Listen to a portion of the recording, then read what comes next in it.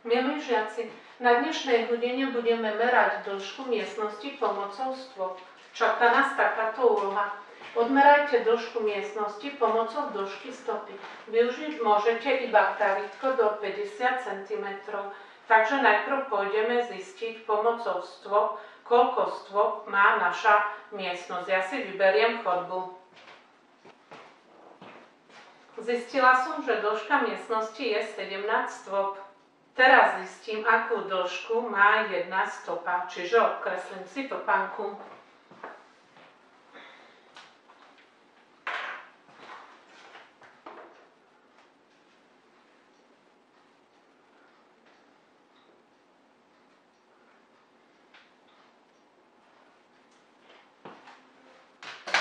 Teraz si zoberiem pravitko a zistím, akú dĺžku má to pán kamerať, budem od špičky po petu.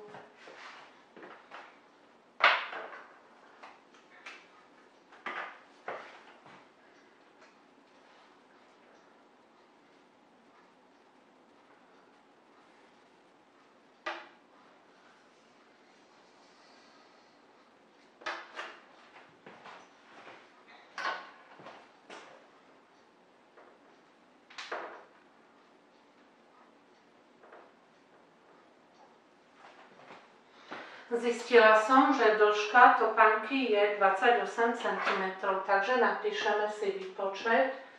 Jedna stopa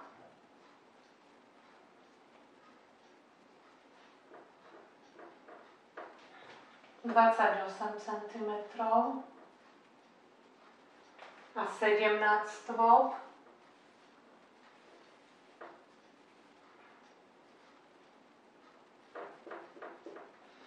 Bude to 28 krát 17 cm, čo sa rovná. Teraz si urobíme pomocný výpočet. Budem násobiť 28 krát 17. Takže 7 krát 8 je 56. 6 napíšeme, 5 sa nám zvýši. 7 krát 2 je 14 a 5 je 19. 1 krát 8 je 8. 1 krát 2 je 2. Teraz si to spočítame. 6, 9 a 8 je 17. 7 napíšem, 1 sa zvýši. 2 a 1 je 3 a 1 zvýšená je 4. Čiže 17 stôp má 476 cm a môžem si to aj premeniť. Je to 4 metre 76 cm. Napíšem si odpoveď. Miestnosť má dĺžku 4 m 76 cm.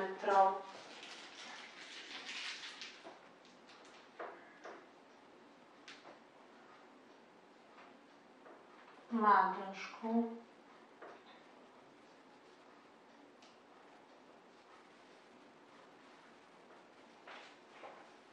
4 metre. 76 cm.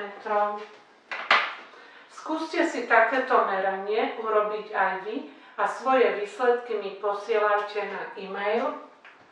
Danica.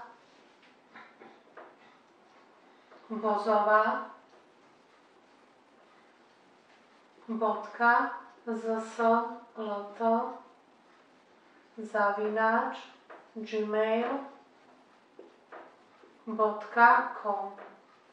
Písať mi môžete aj na SMS 0911 619 492. Ešte vás chcem poprosiť, aby ste napísali aj svoje meno, pretože chodia mi SMS-ky bez mena, ja viem potom iba číslo a musím pátrať respektíve telefonovať naspäť. A ešte vás chcem poprosiť, aby ste mi neposielali MMSky, pretože mám iba tlačidlový mobil, neprejde mi to.